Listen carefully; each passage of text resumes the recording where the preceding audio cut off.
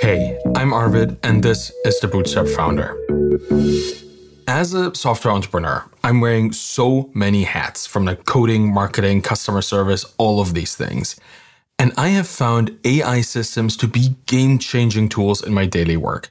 So today, I want to share how I use these systems for my work, particularly the large language models like ChatGPT and Claude, to hopefully inspire you to benefit from these things yourself. This isn't just about the tools themselves, though, but about how they have transformed my workflows and expanded my capabilities as a solo founder. And I think you'll find that very interesting. My approach to work today is quite significantly different from just two years ago or a year ago, but let's go back two years. Let me paint you a picture of the before and after here. So, two years ago, my work as a software developer and a SaaS founder was pretty much AI free. Sure, I used tools like Grammarly for writing and maybe some transcription software here or there, but most of my daily grind was just that a grind every line of code, every marketing email, every customer support response, it all came directly from my own fingers and my brain. Hopefully, brain first and fingers after, but you know, it was all internal. So, as a self proclaimed 1X developer, and let's be honest, probably not the greatest at customer service or marketing either, I was stretched fairly thin. I was doing everything myself from deep diving into database issues to writing product copy. All of these things had to happen. And I often felt like I was barely keeping my head above the water. It was quite intense. It was a lot of work. And I always had to really prioritize what I would spend my time on because I had to dive into it 100%. So fast forward to today, and the landscape of my work has changed dramatically. AI permeates every single aspect of my business, Podscan in particular, but also the Bootstrapped founder. Everything I do is very much impacted by AI. And not only is the product itself heavily based on AI for data extraction and analysis, when I talk about Podscan here, but I'm also using AI tools throughout my business operations at almost every level. The key shift has been how I view these AI systems. They're not just tools for me. They are actually partners. That's how I look at every AI thing that I use is as a partner. I don't delegate tasks to them like I would to an employee. Instead, I think about it as a collaboration. I collaborate with them and I use them as consultants or guides, or I even think about them as co founders sometimes. I'll explain why. These tools are here to help me do the work better, not just to do the work for me. So let me break down the main categories of AI tools that have become integral to my workflow here, because there are three of them that are quite distinct. And I think we should always look at distinct things distinctly. So now here it goes. The first one is large language models in, in a chat context, like platforms like ChatGPT or Claude AI. These are my go-to for brainstorming tasks or writing or problem solving and even some coding stuff. And I'll get to that because coding is also the second big tool. Specialized coding assistance tools is what I would call them. These things are integrated directly into my IDE for coding. I use PHP Storm for that, and they have like JetBrains has a JetBrains AI thing that integrates several different LLM systems directly into the um, the IDE. I've heard obviously there there are way more cursors out there and GitHub Copilot and whatever they might be called. They all exist. They they all are integrated into systems and they're always there, ready to help me write better code faster. And the third thing that we're not going to talk as much about today, but they are also important because I already mentioned them, are task specific AI tools. Right? These categories um, can include things like tra- advanced transcription tools where you throw in an audio file and out comes text. And that for my podcast processing that I personally do, this is quite relevant, but it's only a one off kind of situation. I'm not going to talk about this because those things I rarely use, but I want to talk about the things that I always use. So let's dive into how I actually use these tools in my day to day work. The first use case clearly is brainstorming and ideation, and that's one of the most impactful ways for me to use AI. Let me walk you through a typical scenario here. Say that I'm writing a blog post about a new feature in Podscan something for marketing, something to reach out to my my current customers and my prospective customers for. So instead of staring at a blank page, here's what I do.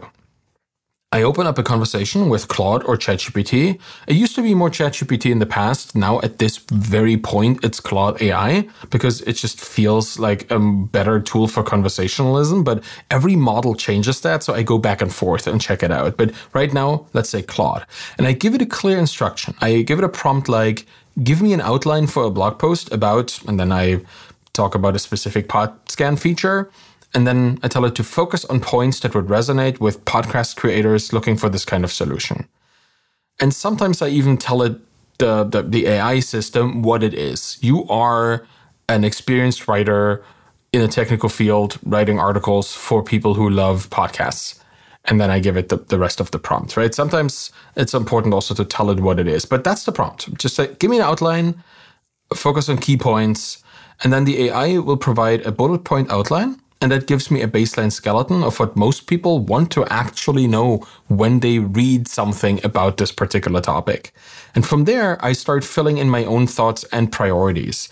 I start writing a draft because the AI doesn't know the intricacies of Podscan or my unique insights as a founder and a podcaster. So this is where I add the special sauce, so to say. And then I write my little draft around this outline and then I put it back in because it doesn't stop there. The, this initial idea is not everything. This is a back and forth process for me. So after I've written this draft, I might go back to the AI and then ask it specific questions about the draft that I've written. Things like, what might I be missing in this article? Is there anything I skipped? Or is there a part of this post that doesn't quite fit? All of these are one liners that I just throw in and then look at the response from the AI. And because the context windows of these tools are so huge, you can do hundreds of these questions and it will always remember the actual text. I, I, more questions. I, am just thinking of a couple more. Sometimes I ask, can you spot any arguments that could be easily defeated? I kind of tell the AI to antagonize me a little bit, right? What is wrong with this article? How can I make this blog post stronger and more convincing? I ask that quite a bit because, you know, I want it to be something that people think, oh, yeah, this is true, or this helps me overcome my own inhibitions here or my own misperceptions. And one of the questions that I found particularly useful is if you were a skeptical reader, like something uh, in, in the AI allows it to take a completely wrong or a, completely opposite perspective. So if you were a skeptical reader, what counter arguments would you have to this article? Which I can then defeat by even sometimes have, having the AI tell me what I should say to that point or what I should at least address. So this collaborative back and forth process helps me write more robust and well-rounded content. I still write it. It's just like there's a partner that helps me making it better. It's like having a writing buddy who's always available, never gets tired, and has access to a vast amount of general knowledge that I might not always have. The key here is that I'm not using the AI to write the post for me.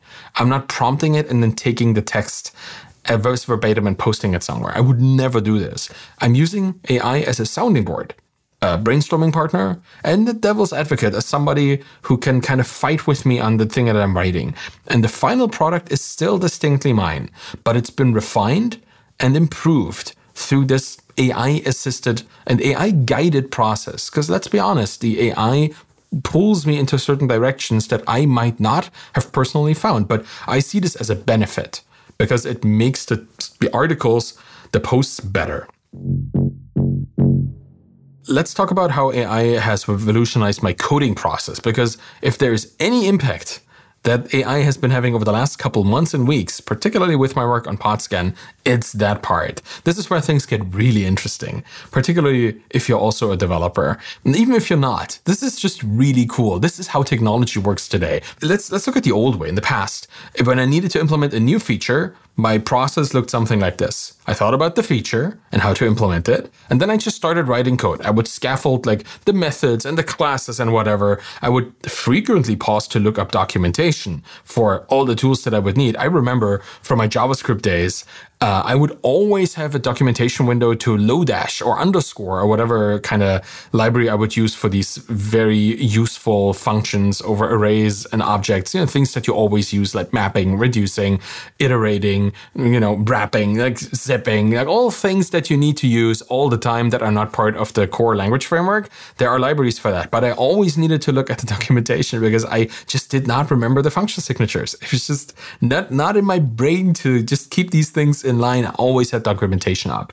And then I would start writing, I would run into issues, I would debug, rinse, and repeat. And in the end, I would get a working version maybe a couple hours, maybe a couple days into it. Then I would refactor and optimize it so that would fit into the system that I would be building it for. And this would often take hours, if not days. Like that for even the simplest features, just because the process was unyielding. It was kind of hard to get everything right in the first try, and that never worked. So it was always very iterative, and I would write every single line of code myself.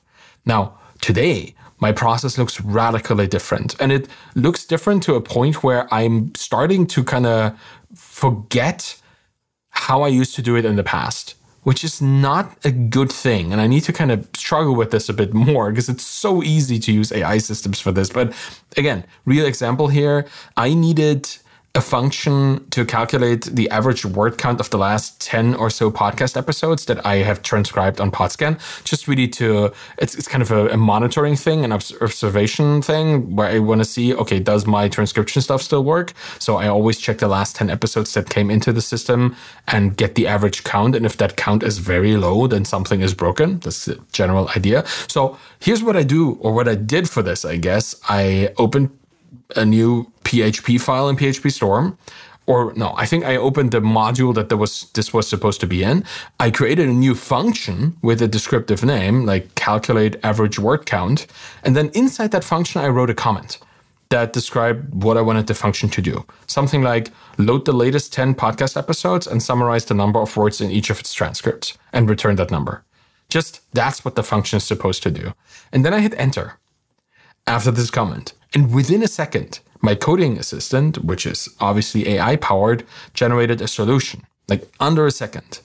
And the AI generated code there looked something like I would pull the latest episodes. It would start a counter and it would go through each episode, count the words, and add that to the counter and then divide it by the number of episodes. This guy, I'm not to redo the code here, obviously, because this is a podcast and that would be strange, but it did exactly what I told it to with the exact right module names, with an algorithm that makes perfect sense to me, and that I could quickly check and verify and test, and it worked.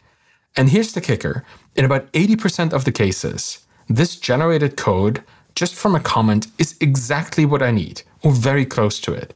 It usually understands the context of my application because like with this example, it knows what an episode is because it lives in the code base where episodes are defined and it knows how to query it because it also understands the framework, which in my case is Laravel and the Eloquent framework, which allows me to send queries to my database. And then it implemented a straightforward solution to the problem.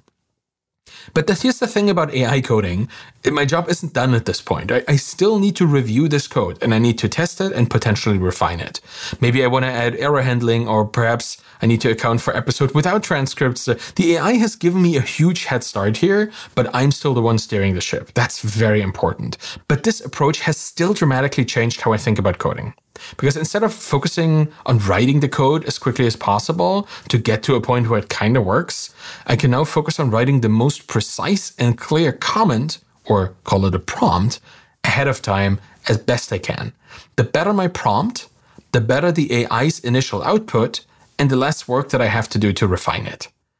It's kind of teaching me to be clearer in my own specifications, both to the machine in the comment but also to myself in how I think about the thing that I'm building, this particular function, the particular module, the whole product. And I think this is a valuable skill in itself. Prompting teaches me how to think about things in ways that I can communicate.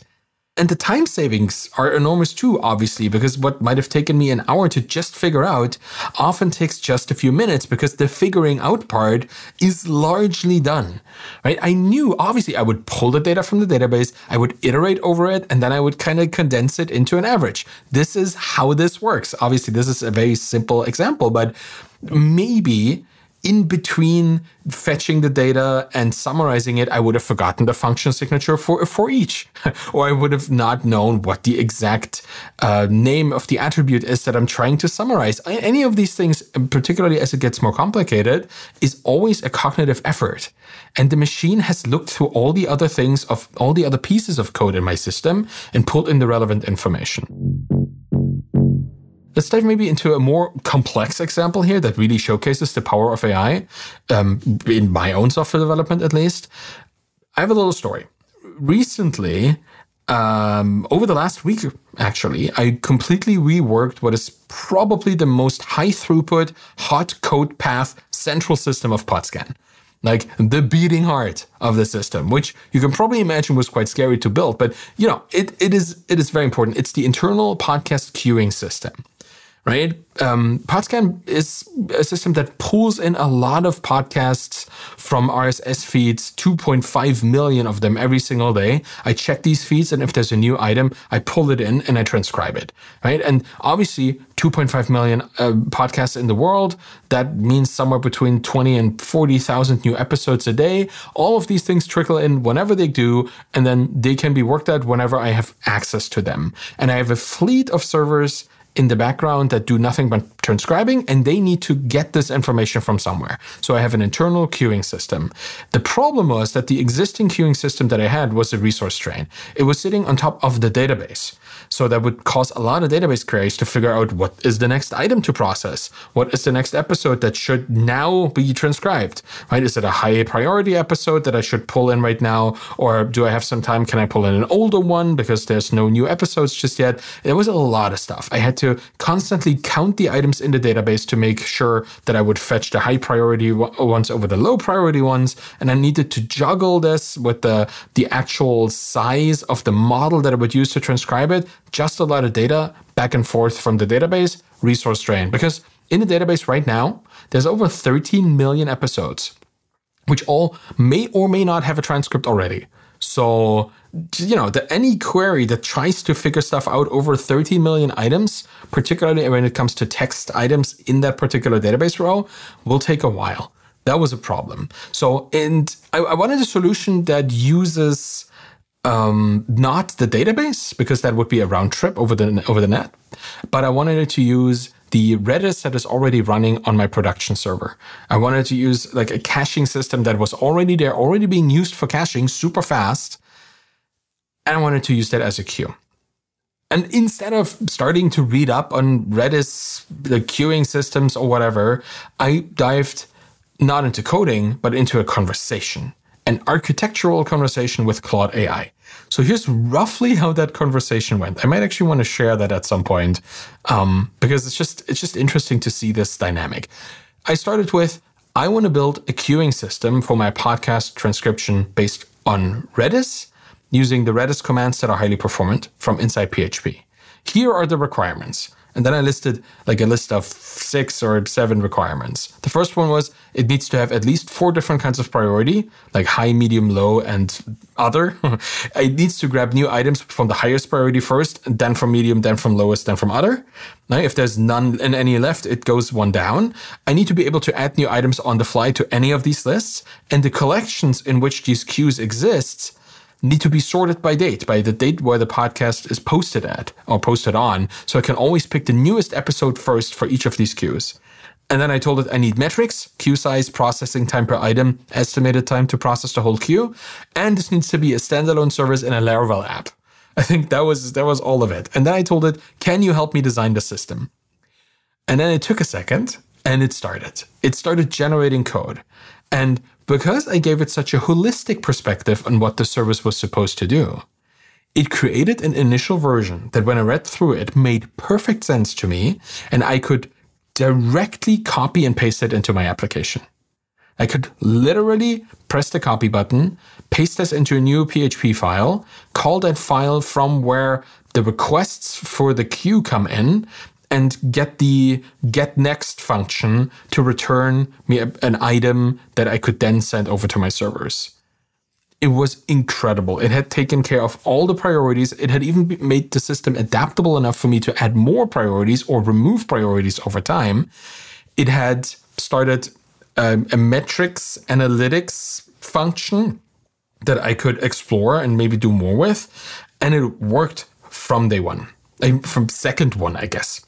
I quickly put it into my my server's uh, current system. I implemented it very quickly, and I tested it for a couple minutes, and it worked. The load on the database immediately vanished because all of this was now in cache. But obviously, just a starting point, right? I said earlier, coding is a process of code review and constant iteration. So we continued the conversation. And by we, I mean myself and whatever Claude is, that magical being on that platform there. And as we continue that chat, I realized I needed a couple more things, right? Because now my database wasn't great at all anymore, but there was still some kind of list of items in there. My queue was previously in the database, so it was just ignored right now. So I needed a way to preload existing items from the database into my new caching queue, and I needed a method to estimate processing time based on historical data because I wanted to know is the queue going faster or slower because that kind of decides on what level of transcription system I use for certain items, right? If the queue is going fast, then I can maybe use slower transcription. And if the queue is going really slowly, I need to use faster transcription for it to catch up. And Claude quickly added those features. It got a preload from database function that automatically would load all the items that were in the database that were potential candidates for the queue. And it would add my estimate processing time and all of that. It was really nice. The result of all of this was that within minutes, I had built a high performance system that is capable of handling millions of podcast episodes. It is mind blowing to me that this critical part of my application that is now, a couple days after I did this, running successfully in production was written entirely by an AI system, with me primarily doing code review and providing guidance. And what's even more impressive at this point is the scalability of all this.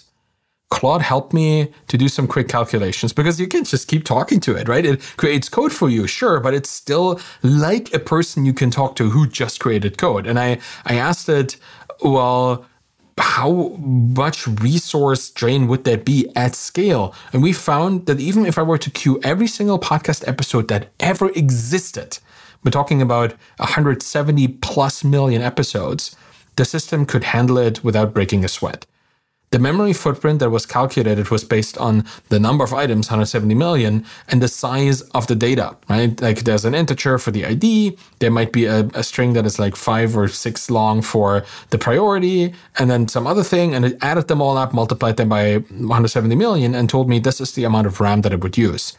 The memory footprint that this would have at max at all the podcast episodes out there would still be manageable on my existing application server and it would use less than 40% of the available RAM on that machine, like 30 gigabytes at max, which is a lot of RAM, but for a server that can handle that. And that's that's the biggest the queue will ever be because over time it will obviously shrink, right? Because I will transcribe these things into the database. And this is a massive improvement over the previous system that I have because that one would slow down to a crawl with just 20,000 items. Now I can finally import every single podcast episode out there that I can find in the feed that I read every day. And we're talking of millions of episodes that I could ingest every day. It's really cool. The impact on Podscan's capabilities here, as you can probably tell, both from my excitement and the fact that these numbers just jumped from 20K to 170 million, that impact is enormous. And it all started with a conversation with an AI. That's the crazy part. I could just open up a chat window, like Claude.ai is where I go, and then a new window pops up. I start talking, and code happens. That is mind blowing. Like, this did not exist at the last decade. And even if there may have been a tool kind of like it, it did not cause these results. Let's switch gears a little bit and talk about AI not just as a code generator, but how it has become my go to assistant for troubleshooting my server issues. Because solo founder, right? I wear all these hats, and sometimes those hats don't quite fit right, particularly when it comes to system administration. It's something that I've always kind of understood somewhat, like how to administer a server, how to install software, how to keep it running. But I want to code, I want to build things, I don't want to maintain them. It's not the, necessarily the thing I'm best at. And recently I ran into an issue where I just could not connect to one of my backend servers. The others were fine, but that one did not work. Like the SSH connects to, to that servers sometimes worked, sometimes didn't. And that was preventing me from deploying updates on that server. And as you can imagine, that's a pretty big problem if you want to deploy new data, new code, or new configuration. So here's how I tackled it with the help of AI. I took the error message that I found in my deployment system, right? I'm using uh, Laravel Envoyer that just, you know, takes GitHub repository, pushes it onto the server and takes a couple steps to deploy and came up with a message. I copied that message and I also tried to manually SSH into the server and I copied that error message and I opened up a conversation with Claude again and I said something like this.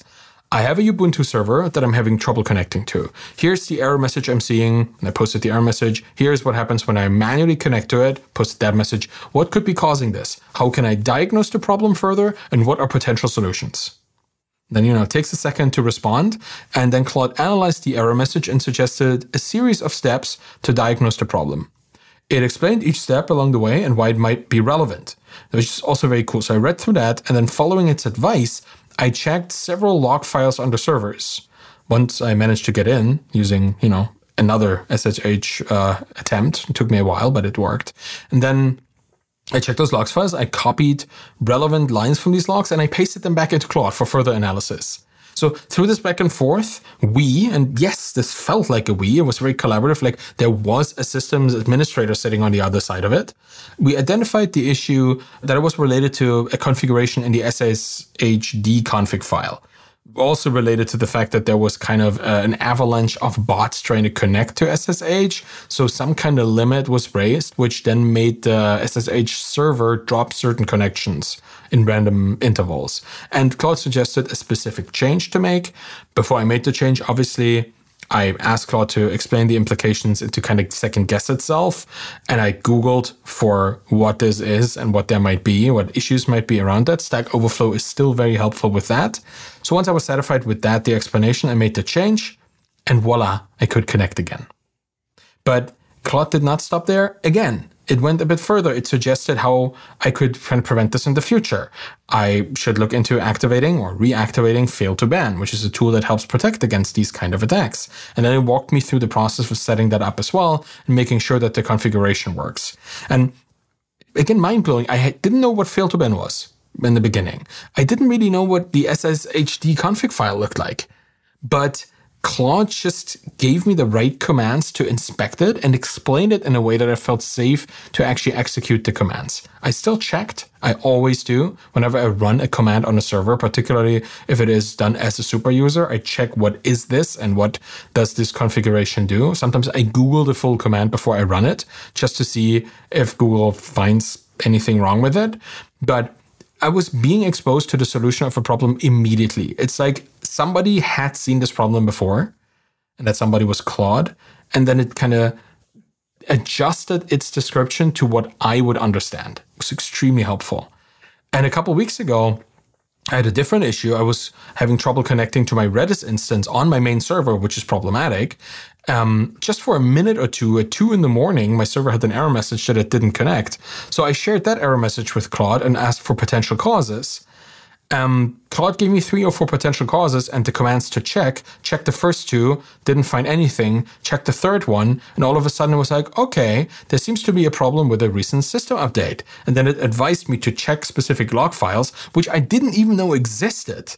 I looked into these logs, and sure enough, there had been an automatic software update right before the problem started. It had restarted the Redis system, and for those 20 seconds or so, no connections would go through because the system was going down and going back up and loading everything into RAM.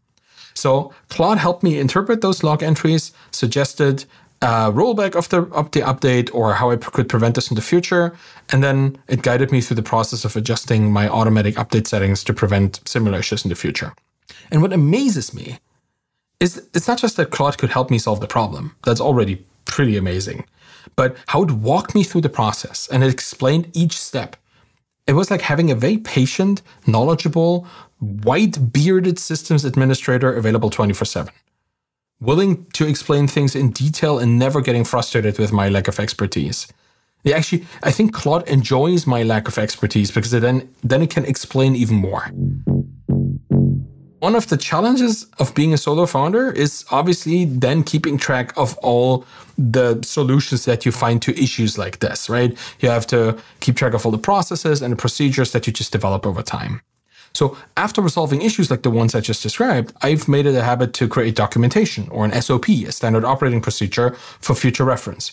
And guess what? AI helps me with this too. Process for this I draft a document, I lay out the steps that I took to resolve the issue. I actually shared this on Twitter the other day, just to document as I had it. And then I asked Claude to review it. I might say something like, I've written an SOP for handling SSH connection issues. Can you review it and let me know what I may be missing? What a future employee or future me might misunderstand? Is there anything wrong or any sensitive information here that I should not include? And how can I make this more clear or comprehensive? And then Claude provides feedback, and it often catches things that I've missed or suggests clearer ways to explain certain steps. Maybe pull them apart, maybe put little explainers in there for things that I assume, but they should not be assumed. I revise the document based on this feedback, and then I might ask Claude to generate a quick summary or a checklist based on the SOP, which I can then use for quick reference. And this process again helps me create more robust, clear, and comprehensive documentation. It's a third kind of writing, right? The first writing that I had was for blogs, the second writing was kind of code for the system, and now there's one for people to execute documentation. And it's always like having a fresh set of eyes look over my work, something that never tires of finding errors and catching potential issues before they become problems down the line. That's the 24 7 here again. A lot of my day involves communicating with customers, and that might be responding to support tickets or writing marketing emails, crafting product updates, building public tweets, anything. Clear and effective communication is very important to me because I, need it. I need to be able to communicate very clearly, very succinctly what I want to say. And AI has become indispensable here as well as a communication coach of sorts, right? When I receive a customer inquiry or support ticket, my process typically looks like this. I draft an initial response. And all of these are kind of the same, right? I draft the initial thing. I ba- uh, just based on my understanding of the issue and the solution that I have in mind, I take this draft and I paste it into a conversation with Claude or ChatGPT and I ask like, hey, I've drafted this response to a customer who's having trouble with this issue. Can you review it and suggest improvements? Tone, clarity, completeness, is there anything I might be missing or any follow up questions that I should ask? Then the AI provides suggestions for improvement, might point out an area where I could be clearer or maybe suggest a more empathetic tone, which is really helpful when you're particularly frustrated with a particular customer, or it reminds me of additional information that I should probably include. I revise my response, send it, and I make sure to maintain my own voice and style throughout the conversation. And as I use tools like Crisp Chat, that has a magic reply feature. It's also powered by AI. And I look at these things immediately. New customer message comes in, I look at the AI suggested responses. And that gives me a quick starting point because these things are always based on frequency. Like, here is what has helped people in the past. So I can look, okay, this should probably be the, the, the, area in which I respond to this person. I never use these things verbatim. Again, never ever verbatim, but I use them as a base and I modify them to match the specifics about this conversation about Podscan. And if I'm unsure about the modified response, I might even put it back into Claude for final check. And again, more quick, and consistent than just randomly typing out stuff and wondering if it's okay or not putting it into a, an AI system and getting a quick response back always really, really useful and ensures that each response is personalized and genuinely helpful.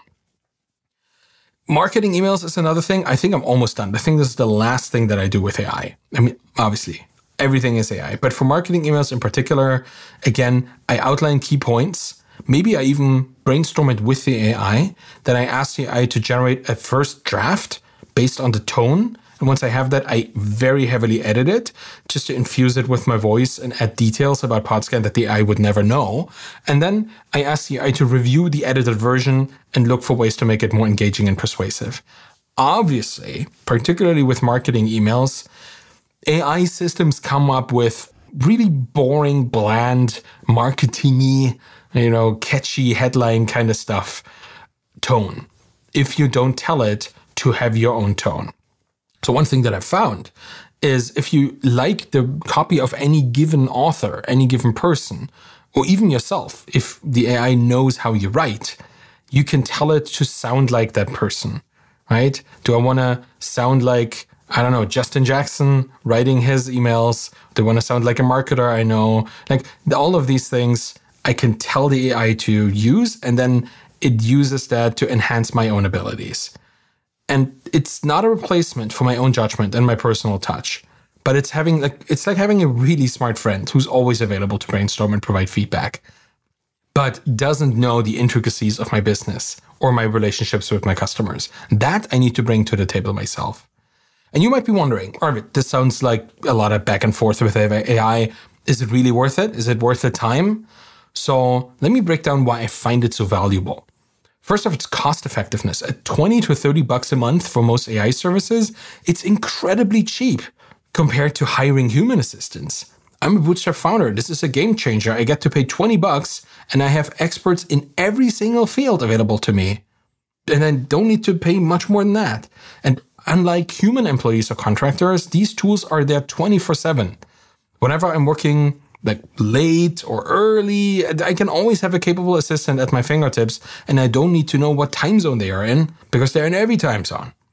And these tools help me become better at everything I do that they help me with. They make me a better marketer, a more efficient coder, a more responsive customer service rep. For a solo founder with all my hats, this versatility is invaluable. And while it might seem like I'm spending a lot of time interacting with AI, it's saving me time in the long run. AI handles about 80% of the initial work, and that leaves me to more time for strategic thinking and refinement. Refinement is what I'm getting better at. The initial work is outsourced to the AI systems. And there's so much I don't know in all these areas outside my core expertise, right? AI provides immediate answers to questions that I might not know. Sometimes I don't even know how to ask the question, and it guides me to the answer. Like server configurations, log file locations. Who am I to know these things? But the AI points me at it. It's like having a team of experts on call. Using AI helps me maintain a consistent level of quality across all aspects of my work, even in areas where I'm less skilled, because it fills those knowledge gaps. And interacting with AI almost always teaches me new things. Like it taught me about Redis, it taught me about how Ubuntu updates software, it teaches me how to architect a queuing system, it teaches me Redis commands that I've never seen before. Like whether it's coding technique I hadn't considered or marketing strategy I was not aware of, I'm constantly learning that alone is worth $20. You don't even need to use it professionally. Just ask it questions. So AI has become an integral part of my workflow, but it's not without challenges. So limitations exist, and I've encountered a lot of them. So here's how I deal with them. The biggest one I think is accuracy and reliability, because while it's rare, AI can provide incorrect information or suggest problematic solutions, right? And this is particularly critical for tasks like server management, security related issues, or just talking to people. You can really run into issues there. So, to mitigate this, I always verify critical information, especially for tech stuff, and I treat AI suggestions as the starting point, not gospel. It's never the end, it's never the final result, it's always the first initial step. And I never fully delegate tasks to AI as well. I remain involved in the process always. I review and I verify outputs. It's always a step, right? Verification is never omitted. And this means I still need to understand the underlying principles of what I'm doing. Might be coding, marketing, system administration. I still need to get what I'm doing. I can never give it away completely. And there, because there's a risk. There's a risk of becoming too dependent on AI tools. I'm very cautious about this. I need to ensure that I still understand how the work is done so that I can do it manually if needed. Like we've seen these outages. Claude has been down. ChatGPT has been down. It's important to use AI as a tool to enhance your abilities, but not as a crutch and not as a complete replacement. It's still somebody else's platform. Platform risk really still exists here. So I'm very careful not to over rely on it. But also, probably because AI tools are just evolving so quickly. Because what was cutting edge a few months ago is probably outdated already. Like, there are people that get into AI now that have never heard of GPT 3.5 or anything like this, the systems before it that that only know what Midjourney is, but don't really know what Stable Diffusion is. Like all of these things are so quickly evolving. I need to stay aware of new capabilities and new limitations, and that requires ongoing learning and adaptation, which I try to spend time on, but I cannot guarantee. So it's a it's a risky field to over rely even on this tech because they might just roll it back one day. You always have to keep up with changes. Even while it's incredibly knowledgeable, AI does not know the specifics of my business or my customers. So that context I always need to bring myself and verify that the AI suggestions make sense for my specific situation. And as it becomes more integrated into my work, I kind of have to be mindful of ethical considerations as well, particularly around data privacy and disclosure. So, getting customer information and copying, pasting it back into Claude, I try to avoid it and I try to anonymize things as much as I can. I'm always transparent with my customers about how and where AI is used in my process. I think I have it in my um, terms and conditions as well that I have used these tools. But that's that's just the reality of today, right? You have to make sure that you don't feed data into systems you don't want the data to be in. And through my journey of integrating AI into my personal workflow, I've developed a couple best practices that I might want to share with you because those things help me get the most out of these tools and they probably will help you even just conceptually to, to get. The first one, prompting. Understand prompting. That's the most important thing. The quality of AI output is extremely dependent on the quality of your prompt input. For creative tasks, I've learned to ask for variety in results when I have a prompt about like find a headline for a blog post or come up with a couple ideas for something. I always tell it to be extremely diverse in the length of the sentence and the topics of the theme, that the way you talk about it, the perspective you take, be diverse, have a variety. I always put those words in. And for specific tasks, I aim to be as detailed as possible in my prompt, to be almost exclusionary, to tell it need to you need to do exactly this and nothing else. Learning how to prompt is a skill that improves with practice, but you need to experiment with it to see what different results come out of it. And I treat AI like a coworker. I found it helpful to approach AI interactions as I would conversations with a very knowledgeable colleague. I learn how to communicate effectively with the system, like Claude or ChatGPT, and I refine my approach based on the results that I get, just like I would with a human being that I have a conversation with.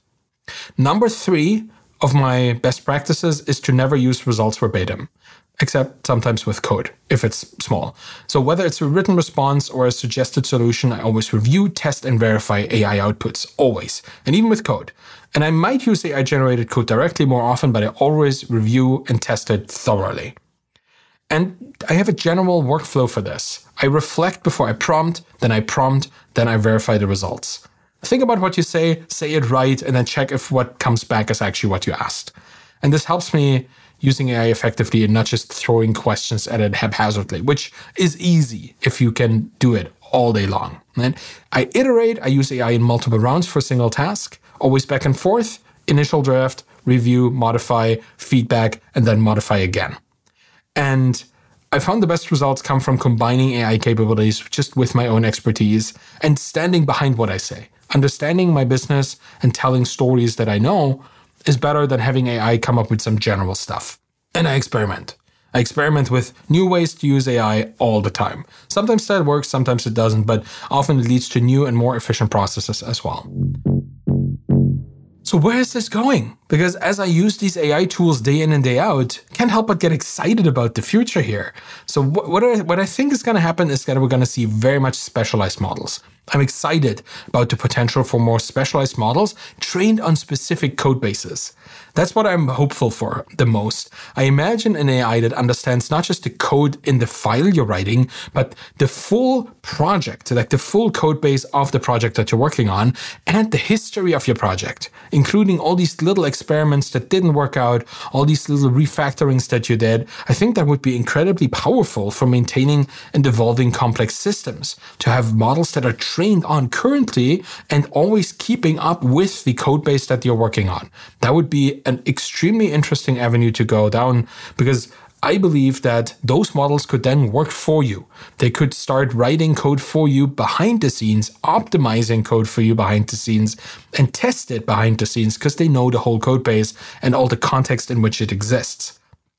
I also would love to see AI systems that can analyze code and pull in customer conversations and social media mentions to start suggesting the next steps for your product development. Could be great for people like me to make more informed decisions about where to focus my limited resources. AI driven product planning. Shouldn't be too hard, like connecting these couple systems and have an AI go over what needs to be done, what is intended to be done, what your roadmap already has, and what people cannot stop talking about. I feel like that would be a SaaS in the making that I have no time to build. So you might want to have to build it. Hey, and, and just generally, I think we'll see the job of AI operations. Like DevOps, there will be AI ops a new role, something like an AI ops specialist that orchestrates AI systems within an organization, that make making sure that everybody has the full context and things are properly integrated, like all the all the, the, the, task system, all the, the roadmap systems, all the communication systems, custom emails, all of this could flow into a central database that AI systems can then take information from. This could be a crucial role in maximizing the benefits of AI in an organization. It's just to have someone who's at this very moment probably more jury rigging than anything else, but just pulling things together so that AI systems can benefit from data in all these systems. And software education will have AI as a primary component, I guess. Like if you start learning how to code today, you need to learn how to code with AI. It makes no sense to not learn AI coding because it will be and already is an integral part of software development in the future. GitHub Copilot, everybody's going to use stuff like this. We might even see programming languages shipping with built in large language models. I'm looking forward to seeing the first programming language that deploys an LLM that can help you write code in that language. It's like an extension of the documentation of a language is having a, a, large language model that can already write code in this particular version of that language. Like imagine um, PHP, PHP 9, or coming out with an LLM attached for 9.0 that can automatically help you write code in 9.0, help you migrate code from 8 or 7 or 6 to 9 and help have a conversation with you about how to build it right. I could see Laravel do this. I could see Laravel deploying an LLM that helps you write Laravel code. There are tools that integrate into IDE systems for Laravel in particular that already exist. So they pull in AI data maybe in the background, but maybe the AI itself is something that the language could come with. I would find that very interesting. And we already see chat interfaces and integrated tools. I think integrated AI assistants will become even more comprehensive and they will understand your entire deployment and development ecosystem much better than they do today.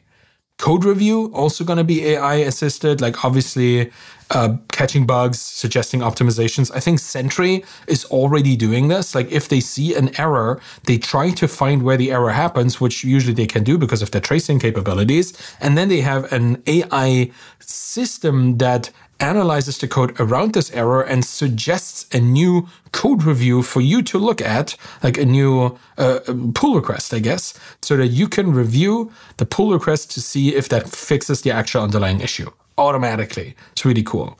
And I guess prompting being the thing that it is, as AI gets better at understanding code and generating code, we might move towards a future where programming is done through natural language instructions more prompt than anything else. What right now is a comment that then expands it to code might just be something that is defined as code, but it is spoken word. Don't really know how that's going to go, but I, I see these things kind of converging in, into a place where we type way less and we speak way more, or we think way more. Speaking is just a way of thinking externally, I guess. So let's get back to the actual solopreneur part of all this, for solo founders and founders, entrepreneurs in general, I think I cannot recommend integrating AI tools into your workflow strongly enough. Like, this is probably one of the most impactful things you can do. They will significantly impact and shape your productivity and capabilities, and they will allow you to punch above your weight in a competitive business landscape. Like, you will be much better with AI than all the people without it. Much more efficient, just more polished, and that makes a big difference when people look at your work. And look for opportunities to use AI in any task involved writing or problem solving. Whenever you think, an AI can help you think better. Whenever you write, it will take your output and make it better. When you code, that code can be improved. Doesn't matter, there's likely a way AI can help you do it better. And I think using AI assistance is the new form of early hiring. It's like getting consultants that cost you 20 bucks a month. In aggregate for every business aspect that you run into problems with. It's crazy. It's incredibly empowering. And I'm excited to see how these new tools and the systems the businesses built around them continue to evolve and support founders like us.